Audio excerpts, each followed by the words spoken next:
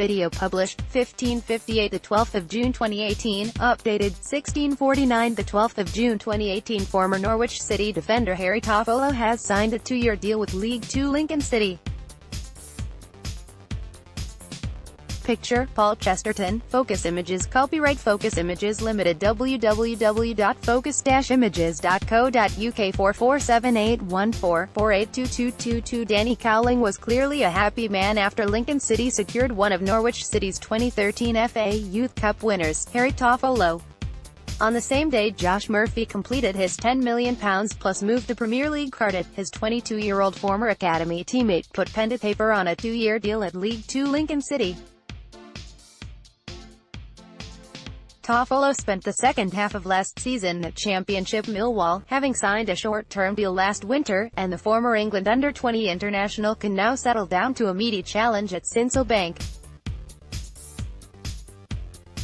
He had lots of options and lots of offers in League One, and the fact he's trusted us to continue his development is something we should be really pleased about, said Imps boss Cowley.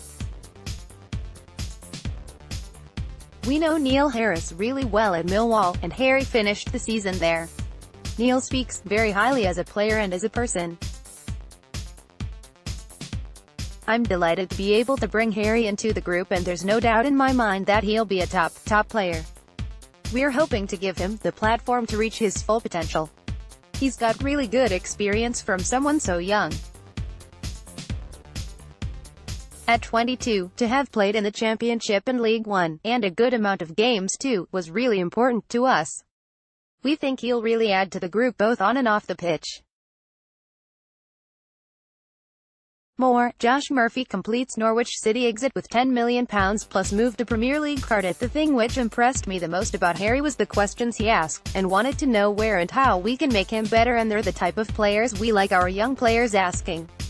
Toffolo played at centre-back in City's 2013 Youth Cup success, as well as featuring six times for England's youngsters before making his name as a left-back at Norwich and a series of loans away from Carrow Road.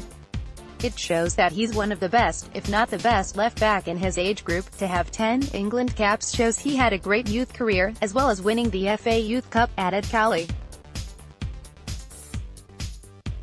He's had a great football education and some really good experiences. He'll bring us real quality, he's got a lovely left foot and a fantastic range of passing. He's good on the overlap, he's got great delivery in open play and from restarts, and he's a very good defender in 1v1 situations. The Norwich Academy product may well have a swift reunion with his former club too. Daniel Farke's Canaries are due at Sincil Bank for a pre-season friend on Tuesday, July 10th. For the latest Norwich City news and opinion follow Michael Bailey on the following channels. Michael Bailey on Twitter at Michael Bailey Michael Bailey on Facebook at Mjorno Michael Bailey on Instagram at Michael Bailey